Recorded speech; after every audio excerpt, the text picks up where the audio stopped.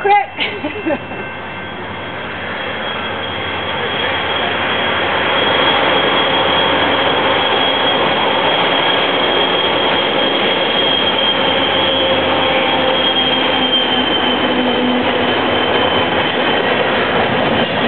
Well, we're cleaning out the paint sprayer. I didn't even see back yet. Guys, uh, how's it going? Everything's. How's it going for you? pretty good. We just uh, we were able to get the base color done on the entire wall, like of the space we're doing. So that was Good stuff. Sir, is it going okay for you? It's Going good. Yep. Right on. Making progress. Well, this is all about uh, giving young people an opportunity to legally do their artwork. And we're uh, behind the Portuguese Community Center here in Toronto. Two artists there are uh, Bubblez and Phade. Lourdes is uh, on the board of directors of this uh, community center. These are the very train tracks here where uh, we had a young uh, young man by the name of Alpha die hit by a train doing uh, illegal graffiti on a train a few years back, and it was his father who uh, inspired me to give uh, kids an opportunity to legally uh, express themselves. So we got work in progress here. We're just about to uh, clean out the paint sprayer with water.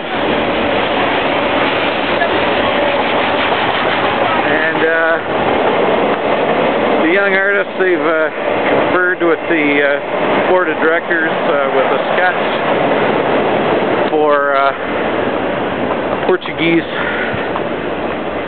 scene that's going to go on this wall.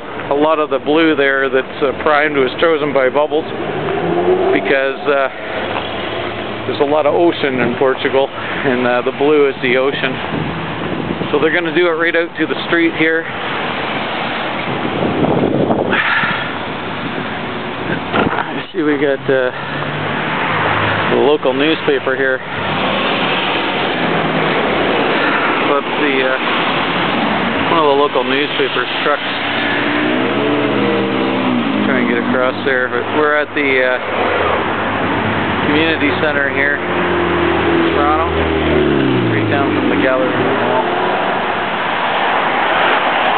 And uh, the artists have been well received here by the uh, staff at the community center, making them uh, some real nice copies.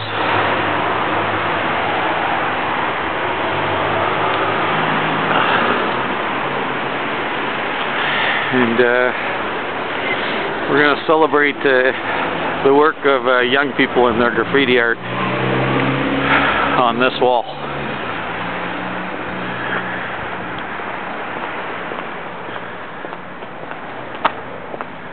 And, uh, looks like here's the sketch.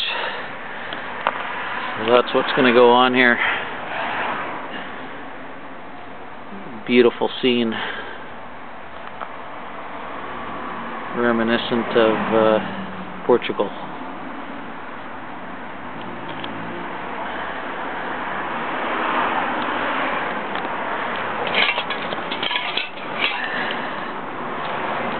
All the tools, all the paint. Thanks a lot to ICI Paint for their uh, deluxe uh, paint exterior that they provide. We opened the paint with my handcuff key.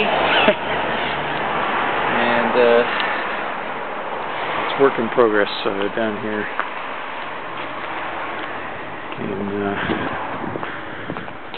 Toronto. The rest of this wall is uh, most likely going to be available to artists uh, if this one works out.